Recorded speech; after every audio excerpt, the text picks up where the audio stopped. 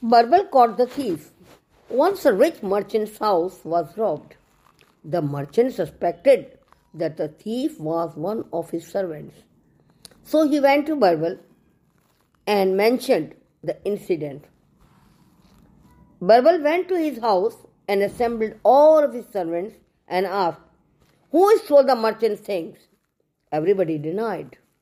Birbal thought for a moment, then gave a stick of equal length to all the servants of the merchant, and said to them that the stick of the real thief will be longer by two inches tomorrow.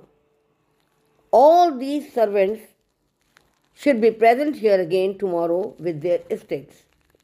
All the servants went to their homes and gathered again at the same place the next day. Birbal asked them to show him their sticks.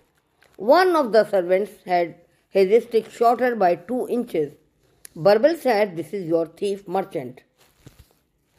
Later, the merchant asked Birbal, How did you catch him?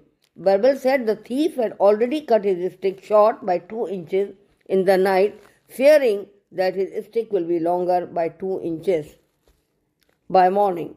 Moral Truth will always prevail.